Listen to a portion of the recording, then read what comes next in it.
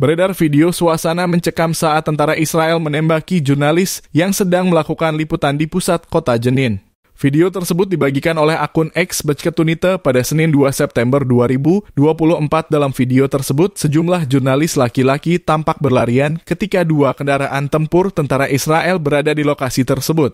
Suara rentetan tembakan juga terdengar jelas dalam video itu. Mirisnya ada dua anak kecil yang ikut berlarian bersama para jurnalis. Sementara itu, tentara Israel tampak merusak sejumlah infrastruktur dengan kendaraannya.